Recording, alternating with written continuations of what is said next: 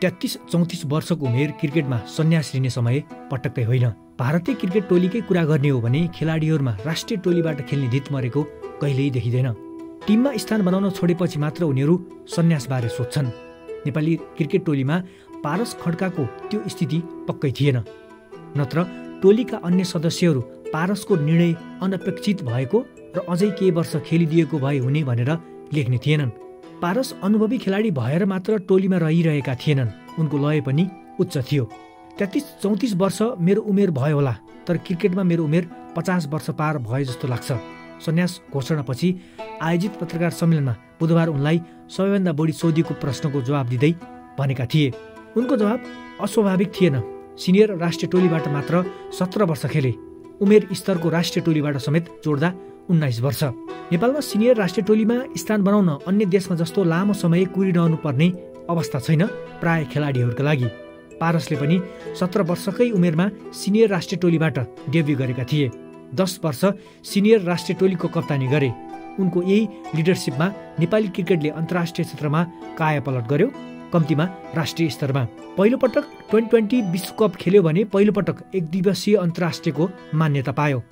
पारसले उपाधिहरूको त थाँती नै लगाए। उनी कप्तान हुनु अघि नेपालले सिनियर अन्तर्राष्ट्रिय क्रिकेट प्रतियोगितामा एउटै पनि उपाधि जित्न सकेको थिएन। भलै पाँच पटक अन्डर नाइन्टिन विश्वकप खेलेको थियो। पारस सन् दुई हजार उन्नाइसमा राष्ट्रिय टोलीको कप्तान छोडेपछि नै सन्यासबारे सोचेको बताउँछन्। मैले सुतेर जुर्क उठेर सन्यासको निर्णय लिएको होइन। कप्तान छोडेसँगै सन्यासको सोच आएको थियो। मैले करिब दस वर्ष राष्ट्रिय टोलीको कप्तानी गरेँ। अब अरूलाई त्यो जिम्मेवारी दिनुपर्ने अवस्था आएको थियो। कप्तान छोडे पनि तत्काल टोलीलाई मेरो आवश्यकता छ भन्ने बुझेर खेलिरहे पारसको भनाइ छ। पारसले कप्तान छाड्दा नेपालले एक दिवसीय अन्तर्राष्ट्रियको मान्यता पाएको एक वर्ष मात्र भएको थियो।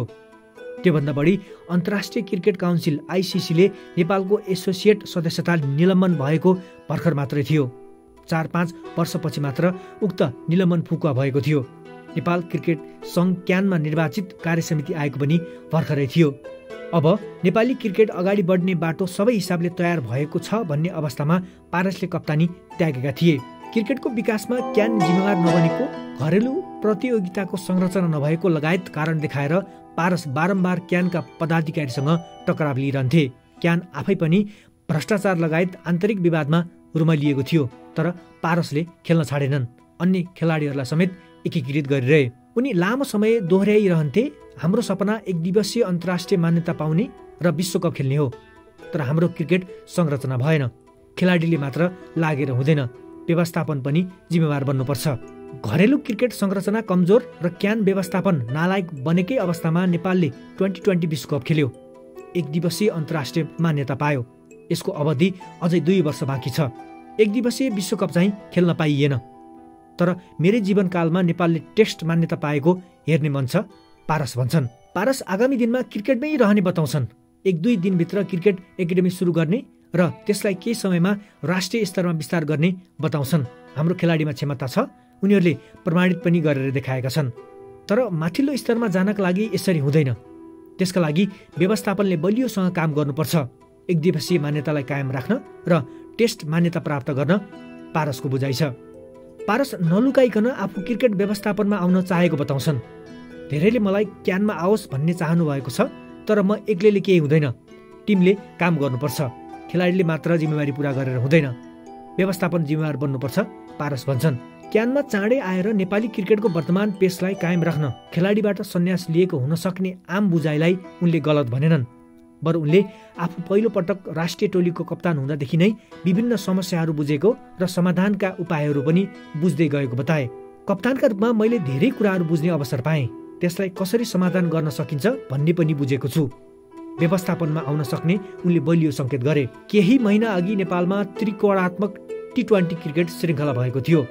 नेदरल्यान्ड्स र मलेसिया सम्मिलित त्यस श्रृङ्खलामा नेपाली टोलीले ऐतिहासिक प्रदर्शन गर्यो। त्यस्तै जित प्राप्ति पनि। त्यस श्रृङ्खलामा पारस चोटका कारण सहभागी थिएनन्। मैले खेल्न नपाए पनि बाहिरै बसेर त्यो प्रदर्शनको स्वाद लिएँ। नेपालले बेग्लै किसिमको क्रिकेट खेल्यो उनी भन्छन्। त्यस यता पनि पारसले नेपाली टोलीबाट खेलेका छैनन्। उनले देखेको नेपाली क्रिकेटको गन्तव्यमा पुग्न यस्तै प्रदर्शनको आवश्यकता भइरहने उनले बुझेका छन्।